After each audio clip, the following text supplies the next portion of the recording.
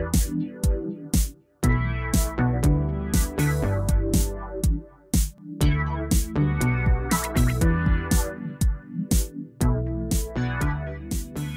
remember the moment when I decided this is for me, programming is for me. What was that moment for you? Do you remember? Or It's actually I've been actually how old were you? What were you doing? I was when was six.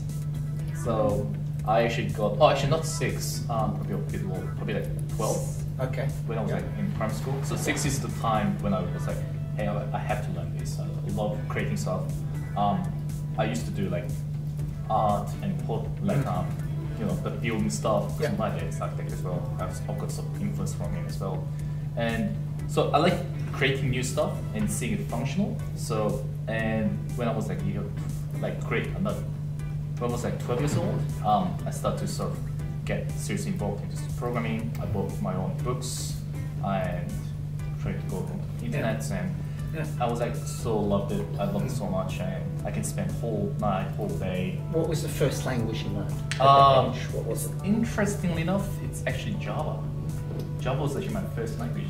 Okay, I forgot that you're only early twenties. Okay, I was going to say, yes, you're right. Java has been around for that long. Yeah, Yeah, okay, exactly. So okay. at the time, Java was Yeah. really new, Mm. and the, the book I bought, I still actually have it, Mm. uh, and I actually bought it from Korea.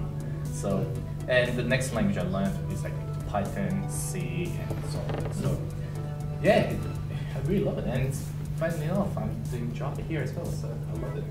Fantastic, excellent. What do you think, from what you know, is the most powerful aspect of the platform? A feature that you think, wow, that, that is incredible that it does that and we do that for clients. I think one of the best advantages is that you don't actually, I mean, you can use the platform from anywhere.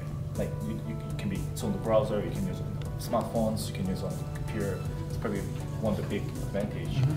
And just, and also you can go from preparing your jobs, you can post them, you can get all, the- you can do recruitment, go to onboarding. I think that's all in one, because I haven't done any Mm, HR thing understand before, but yeah, yeah. I think that's one of the biggest Okay. um, Okay, advantage we have. fantastic.